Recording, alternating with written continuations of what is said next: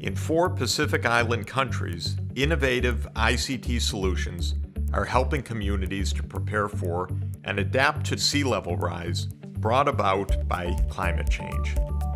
After me look at more map, yeah, and me giving clear picture now, say yes, uh, and me no more safe long stable base.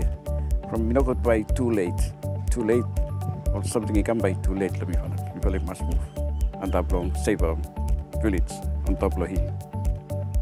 We worked with the governments of Vanuatu, Samoa, Tonga and Papua New Guinea to provide capacity building and fundamental data sets that would allow them to model sea level rise in their countries.